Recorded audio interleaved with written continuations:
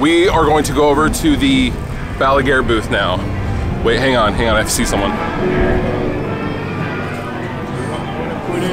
Ah! Wait, can we get like a, a beard bro hug? Oh my god!